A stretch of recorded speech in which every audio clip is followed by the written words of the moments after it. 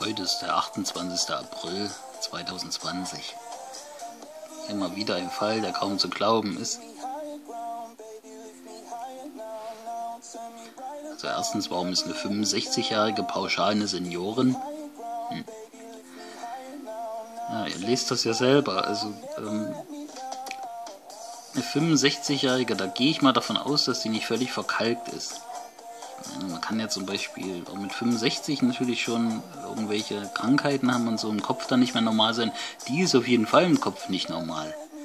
Weil da ruft ein angeblicher, steht denn das, Neffe an.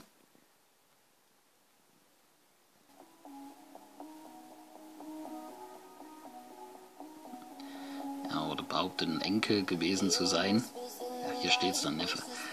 Ähm, und meint halt, er hat einen Unfall gehabt und brauche halt, um den Unfallgegner das zu geben und sich ein neues Auto zu kaufen, 130.000 Euro. 130.000 Euro.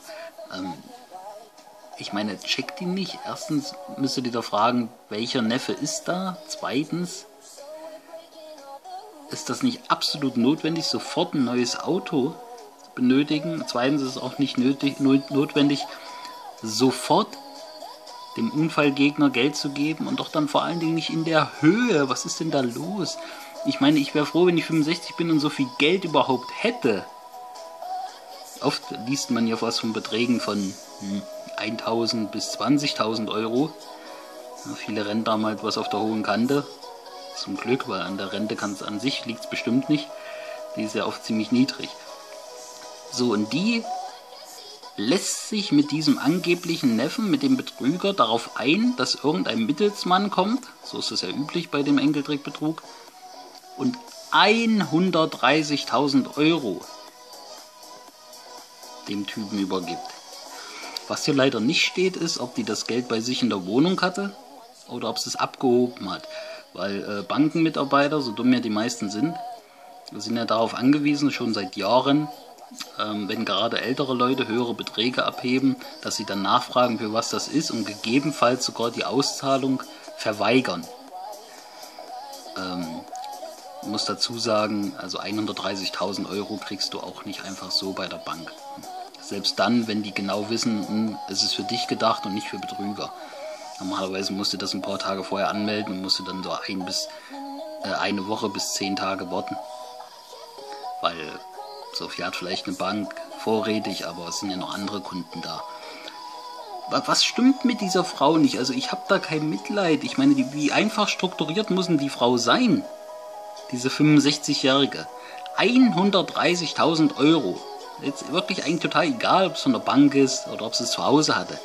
Sie übergibt einen wildfremden Typen 130.000 Euro, weil sie da die Geschichte von dem anderen Spasten glaubt. Ich kann nicht glauben, wie dumm er ist, wie dumm man sein kann. Ich kann nicht glauben, wie oft ich mich auch versprochen habe in dem Video.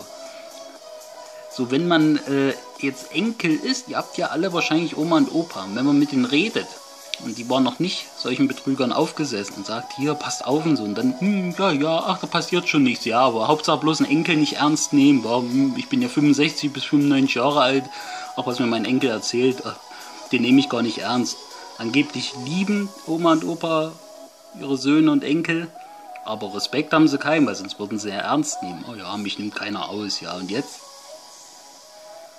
Also, wie dumm kann man eigentlich. Also, ich verstehe einfach nicht, wie man so dumm sein kann. Und Leute, kommt mir doch nicht mit naiv. Das ist Dummheit. Grenzenlose Dummheit. Das hat mit Naivität überhaupt nichts zu tun.